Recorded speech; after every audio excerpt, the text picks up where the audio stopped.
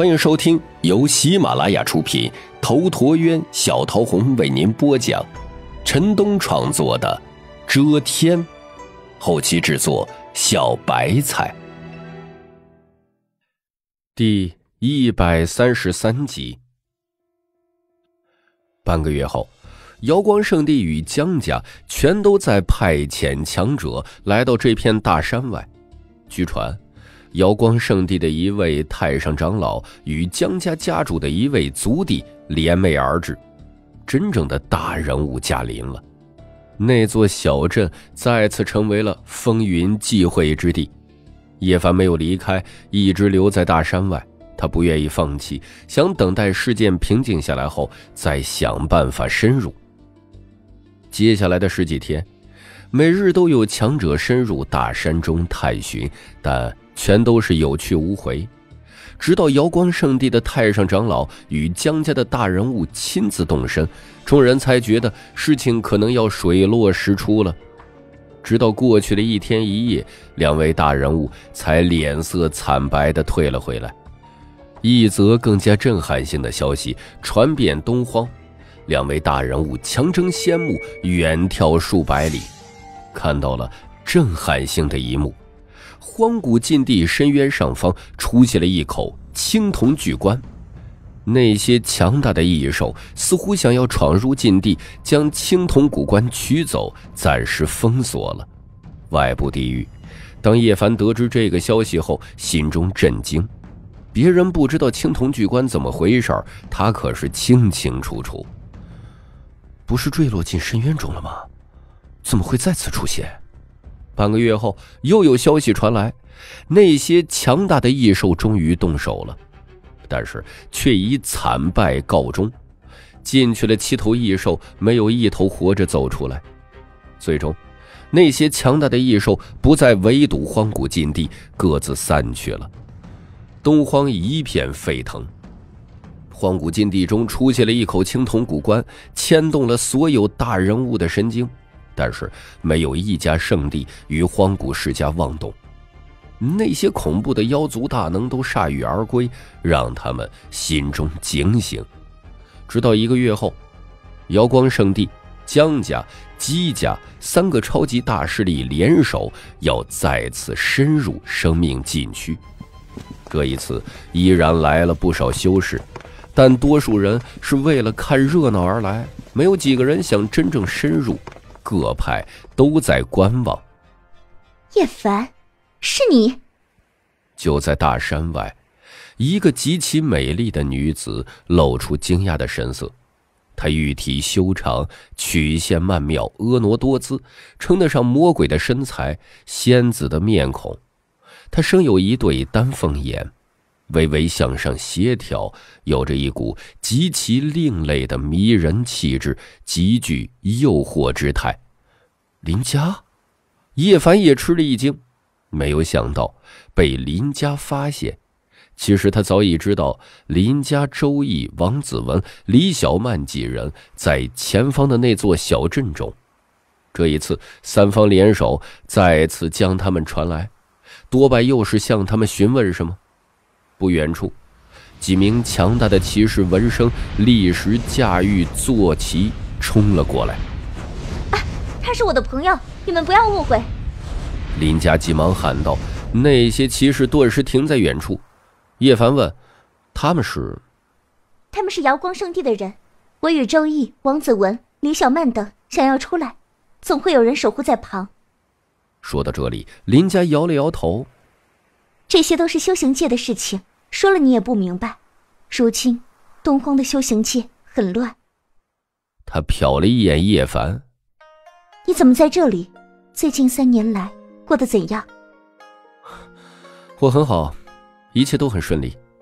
如果有什么困难，可以和我说，也许我能帮你解决。暂时没有什么困难，在这里，我恭喜林婆婆恢复青春，再次变得美貌如花。欠打吧！林家白了他一眼，而后妩媚的笑了笑。看来这三年你过得不错，与我想象的不一样。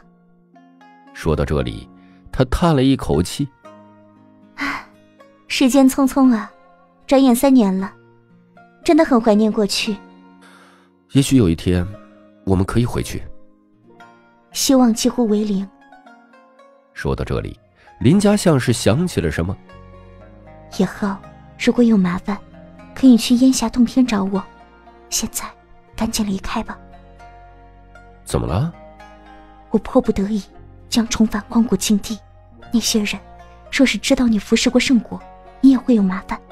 你还是赶快远离这里吧。叶凡没有多说什么，点了点头。嗯，你保重。然而，麻烦终究还是来了。仅仅过去一刻钟，叶凡便被十几名骑士无声无息的包围在大山中。为首的那名老骑士让叶凡很忌惮，他没有尝试突围，因为他在那个老人的身上感觉到一股汪洋般的恐怖波动。若是妄动，对方可能会瞬间爆发出来。我明白你们的来意，好吧，我跟你们走。叶凡很平静。最终，叶凡被带回了小镇。但是却没有见到林家、周易、李小曼、王子文等人。瑶光圣地的人得悉他服食过圣果的事情，将他扮成一名骑士，想要关键时刻利用他采摘圣药。以你的体质来说，到时候肯定能够抵住诅咒的力量。若是采摘到圣药，圣地不会亏待你的。那名老骑士告诫道，眼中有凌厉的光芒闪过。我明白，叶凡点了点头，但心中却在冷笑：到时候进入荒古禁地，不知道是谁利用谁呢？五日后，瑶光圣地，江家、姬家再次向深山进发。叶凡远远的看到了林家、李小曼、周易、王子文、张子玲、柳依依几人，他们竟然全部被带来了。不过，此时叶凡骑在蛮兽上，身穿神铁甲衣，那几人无法认出他。这一次，路上没有遇到恐怖的蛮兽阻拦，三方人马顺利到达荒古禁地界碑处。几辆神霞闪烁的辇车悬在天空中，不再前进。几位大人物准备在外接援，他们不敢亲身犯险，因为荒古禁地对超级强者的影响最大，甚至可以将他们削落为凡人。再次进入荒古禁地，叶凡心中有些激动，也许属于他的旷世机缘将要到来了。同时，他想到青铜古棺，不知道为何脱离深渊，出现在了圣山上。必须将圣药采摘到手。几位大人物在天空中传音，几辆辇车神霞烁烁。荒古禁地内，苍劲的古木枝桠如囚笼一般伸展向四方。每一株老树都如小山一般耸入天空。一条条水缸粗细的老藤，像是一条条盘山大蛇，每一根都能将一座山峦绕满，刚健有力。如果不明底细，看到此地草木繁盛、生机勃勃，一定会以为是一片净土。但是若仔细观察，很快就会发现异常。偌大的禁地，听不到鸟叫兽吼，看不到蚁虫活动的痕迹。静到近乎死寂。这一次，三家联手，精挑细选，并没有带很多修士，总共不过八十几人。这片生命禁区最深处有九座圣山，我们三家分开前进，到时各自攀上一座圣山，免得采摘神药分配不均。瑶光圣地的老骑士徐道灵这样建议。瑶光圣地总共来了三十几人，个个魁伟挺拔，所有人都骑坐在异兽上，都是那种体型庞大、具有蛮力的巨兽。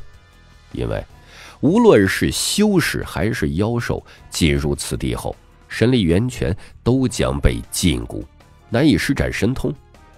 体质越强横，越占有优势。江家与姬家的人也都骑着天赋异禀的蛮兽，全都是出于这种考虑。江家带来了二十几位强者，领头的那名老人江汉中端坐在一头浑身黑鳞闪烁的魔象身上。徐兄此言差矣，此地充满了未知的危险，我们最好还是共同前进。我想。即便只攀登上一座圣山，采摘的神药也足够我们三家分配。这么多年来，几乎从来没有人成功过。我们不能分散兵力。说完这句话，江汉中不经意的扫了一眼叶凡，双眸中闪过一抹异色。叶凡心中顿时一凛，他对江家的人分外敏感。两年前，这个世界的骑士将他追杀的上天无路，入地无门。瑶光圣地的老骑士徐道林摇头：“我觉得禁地中最恐怖的便是诅咒的力量，即便我们所有人都聚在一起，也没有任何用处，还不如分开前进，或许能够有各自的机缘。”江家的老人江汉中露出一丝玩味的笑意。扫了一眼叶凡，然后才开口：“ 我们江家只来了二十几个人，人手不足，有些单薄，想向徐兄借几个人。”